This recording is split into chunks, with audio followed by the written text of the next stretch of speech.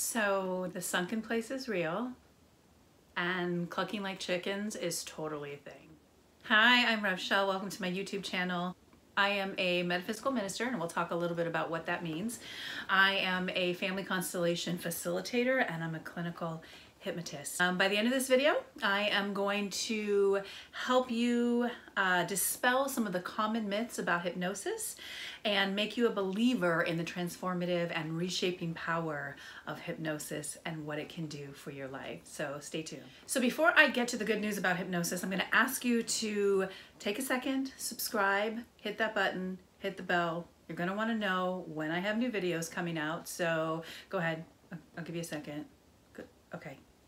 All right, here we go. So hypnosis has a very provocative relationship with mass consciousness or the uh, information that's out there in the ethers about what hypnosis is and what hypnosis is not. So movies portray hypnosis as this mechanism of mind control and it misrepresents it in a way that um, makes people believe that with hypnosis you can bypass consent. Um, it's widely been known more for its entertainment value rather than its therapeutic uses. And not to be funny, but if one more person asks me if I can make them cluck like a chicken, I'm totally gonna make them believe that I can. Because I'm a hypnotist. No, I'm just kidding. Listen, there's lots and lots of myths out there floating around about hypnosis, what it is, what it isn't. And so I'm here to help set the record straight. And I wanted to share, as I get comfy, I wanted to share the five most common myths about hypnosis. So let's go ahead and jump right into it. Myth number one. Myth number one is that when you're in hypnosis, you don't have any control over what happens to you. So there have been lots of studies on this topic, and not one of them has shown that someone in hypnosis or in a hypnotized state will act against their own best interest. Just to show how common a state of hypnosis is, you may have been in a recent state of hypnosis and you didn't even know that that's what it was or that's what was happening. So, have you ever zoned out while you're driving and before you know it, you're at your destination? So, you have no conscious recall over how you got where you got? Well, that's a form of hypnosis. So while your conscious mind was daydreaming, before you know it, you're at your destination, and your subconscious mind was in this hyper state, hyper focused state of concentration. And while it was in that hyper focused state of concentration, it was in complete control. So while your conscious mind was somewhere else, wherever you were during that time, your conscious mind got you exactly where you needed to go. And that's how it is when you're in a state of hypnosis. Your conscious mind might be daydreaming, might be relaxing in a field of daisies, wherever I take you to relax, but your subconscious mind is doing the work. It's getting you where you need to go. It's taking you to the goal line of your hypnosis session. So that's myth number one. So myth number two. Myth number two says that you can be hypnotized without your consent. Well, let's just put it like this. So all hypnosis is self-hypnosis and um, let me kind of explain what that means. So you do all the work and I'm simply your guide to get you to that hyper-focused state of concentration, that really relaxed state in your body, but that subconscious hyper state of focused concentration.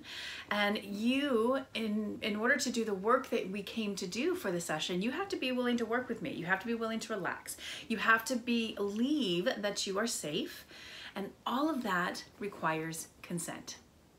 No one can hypnotize you without your consent. There's no magic teacup, there's no spoon that when tapped three times sends you to the sunken place. Now, when we started this, I did say the sunken place is real, and it is. We'll talk a little bit about that. But hypnosis must be a consensual partnership, or else it's just a waste of your time. It is your subconscious. Nobody else has access to it but you.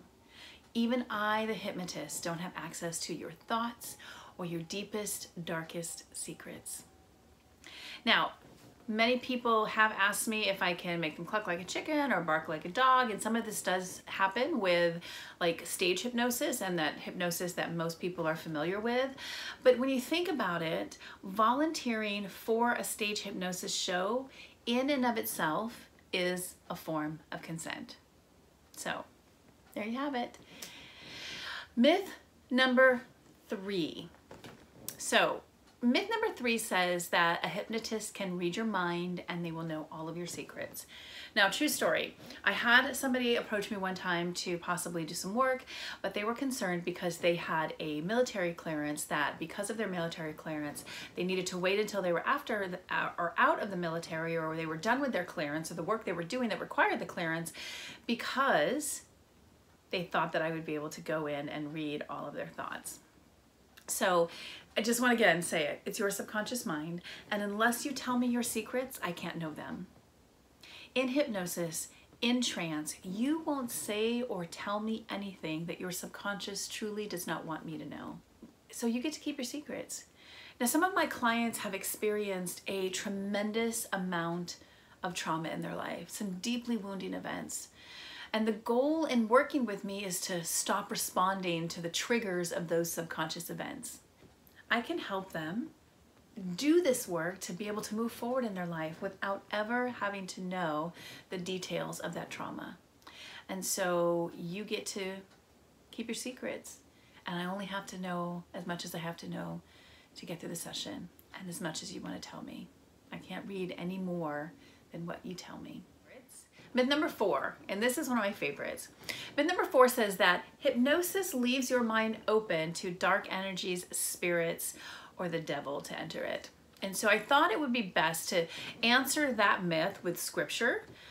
Now, at one point, uh, maybe a whole nother life ago, um, I was actually studying to be an evangelical minister, and thank God that I got away from that. And actually came full circle. Minister, not evangelical, metaphysical, whole different end of the spectrum.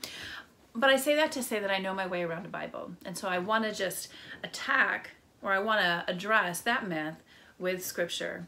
And so first Peter 5, 8, it says to be sober-minded, to be watchful, that your adversary, the devil, prowls around like a roaring lion seeking someone to devour.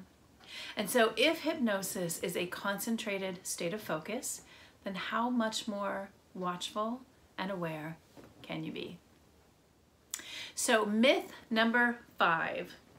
Myth number five is that hypnosis is a cure-all. And while I would love it to be, that's just not the case. Hypnosis is a very powerful tool to help you release deeply held subconscious beliefs and triggers. But it is not the cure-all that many people hope. It's not a magic wand that I can just wave at you and excavate things from your mind that you don't want to be there anymore. Hypnosis is an adjunctive tool that pairs really well with other holistic or traditional mental health tools. So my favorite holistic trio is systemic family mapping, family constellations, and clinical hypnosis.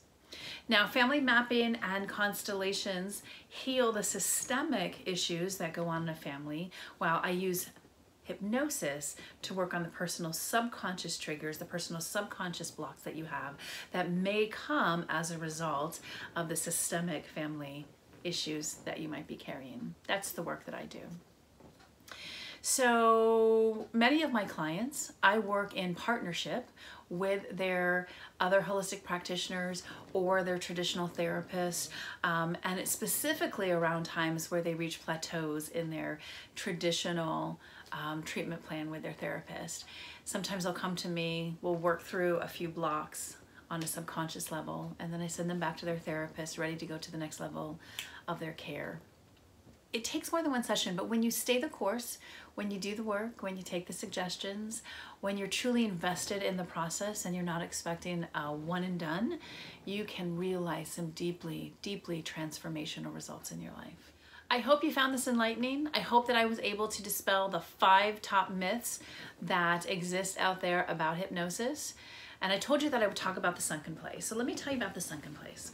The sunken place is actually a real place. But it's not a real place that was as it was described in the movie Get Out. Now, while that movie was fabulous, uh, Jordan Peele is one of my favorite new uh, directors. Um, well, Jordan Peele is one of my favorite directors. He's not new, he's been around for a while. But the horror work that he's doing, totally my thing.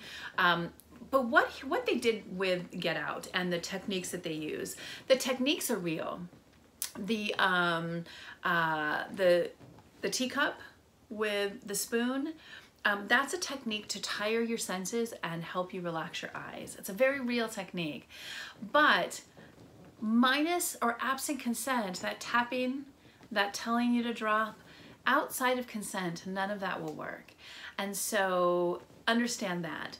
The sunken place is this real gooey, like warm, comfortable, deeply relaxed state that you get into when you allow yourself to um, relax, to feel safe, to be deeply, deeply committed to doing that inner work that you came to do in hypnosis. And so is the sunken place real? Yes. Is it real in the way that it was portrayed in the movie? No. The sunken place is that place you go inside when you feel deeply relaxed and safe and ready to allow your subconscious mind to do the work that you came to do in hypnosis and in this session. So I hope that answers your questions. Um, if you would like to reach out to me, all of my links are going to be down below. I would love to hear about any other myths. So maybe in the comments below, you can write a, um, uh, maybe there's a sixth or a seventh or an eighth myth that you've heard about hypnosis that I would love to address. Make a comment below. And um, if you have any questions, leave them too. I'd love to answer them. Also make sure if you didn't earlier when I asked you to, make sure you hit that subscribe button. Make sure that you hit that bell. You're going to want to know when I have new videos come out because I have some really exciting topics that I'm going to talk about. So subscribe, share, tell your friends about this. So thanks for stopping by my YouTube channel. Uh, we will be putting out a new video every week, so come back and um, let us know what you think. Bye.